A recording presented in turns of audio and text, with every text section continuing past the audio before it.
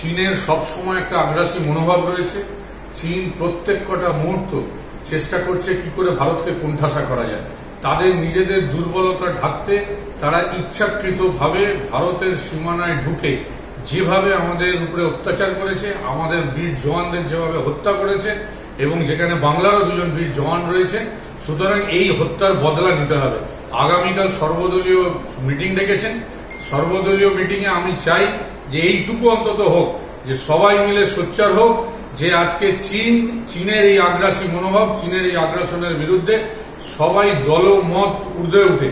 আমরাও চাই আজকে ভারতবর্ষে সবাই ঐক্যবদ্ধ আছে, এক আছি এবং চীনকে যোগ্য জবাব দিতে হবে। এর আগেও আমরা দেখেছি, যারাই ভারতীয় ভূখণ্ডে ঢুকে ভারতকে মেরেছিল, ভারতকে আহত করেছিল।